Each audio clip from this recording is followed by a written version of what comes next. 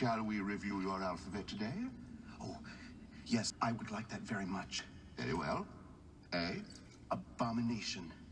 B, Blasphemy. C, C- contrition. D, Damnation. E. Eternal damnation. Good. F, Festival. What?